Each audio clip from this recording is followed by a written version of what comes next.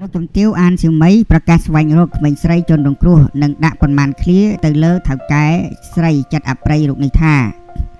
កាលពីពេលថ្មីថ្មីនេះមានករណីថៅកែស្រីម្នាក់បានវាយធ្វើបាបទៅលើក្មេងស្រីជាឈ្នួលបំរើ ជាច្រើនលើកច្រើនសារមិនអស់ចិត្ត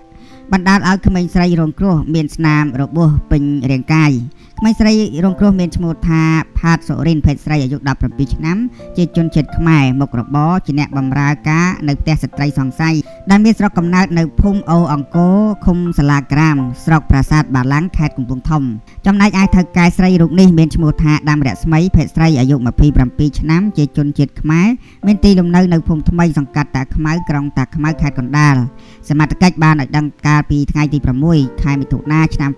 2020ថាក្មេងស្រីរងគ្រោះត្រូវបានម្ដាយមេបង្កើតឈ្មោះថាសុកស្រីមុំបាននាំយកមកធ្វើការជាអ្នកបម្រើនៅផ្ទះស្ត្រីសង្ស័យពេលស្ត្រីរងគ្រោះធ្វើការជាមួយស្ត្រីសង្ស័យតែងតែវាយធ្វើបាបលើក្មេងស្រីរងគ្រោះរហូតដល់រងរបួសស្នាមដាច់មុខដាច់មាត់និងមិននាំយកទៅមន្ទីរពេទ្យឬក៏ទិញថ្នាំឲ្យនាងលេបនោះទេ លុះដល់ថ្ងៃទី8ខែតុលាឆ្នាំ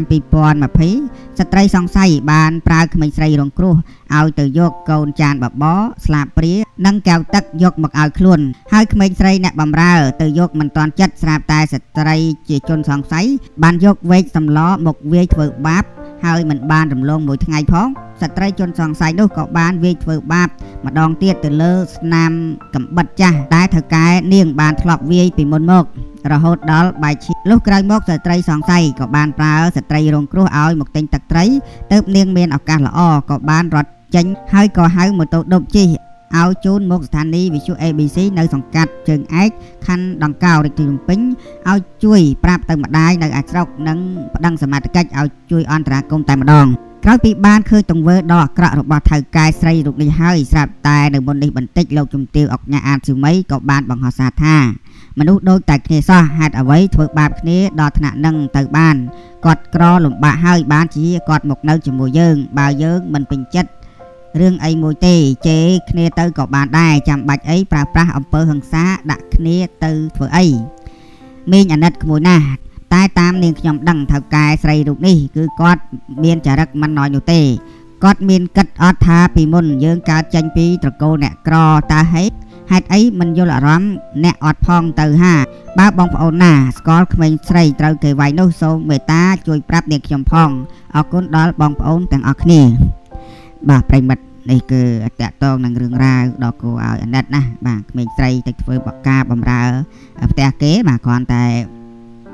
យកចានមកឲ្យមិនតាន់ចិត្តក៏វាយធ្វើបាបនឹងវេកសម្លបាទបណ្ដាលឲ្យនាង បាទបែកក្បាល បាទចំមុខរបួសពេញខ្លួនតែម្ដងហើយក្រោយមកអត់ទ្រាំនឹងទង្វើអាថៅកែចិត្តអប្រៃនេះអត់បានក៏ឲ្យគេជូនមកវិទ្យុ ABC ដើម្បីប្រាប់ដំណឹងទៅដល់ម្ដាយឲ្យប្តឹងសមត្ថកិច្ចជួយអន្តរាគមន៍បាទឥឡូវនេះត្រូវបានសមត្ថកិច្ចចាប់ខាត់ខ្លួនហើយបាទហេតុអីក៏ប្រើអំពើហិង្សាទៅលើក្មេងស្រីបាទបែបនេះទៅវិញ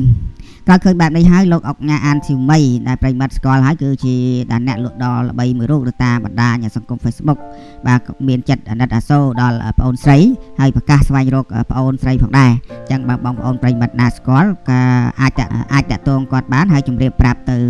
បាទអុកញ៉ាអានធីមីដើម្បីជួយគាត់ផង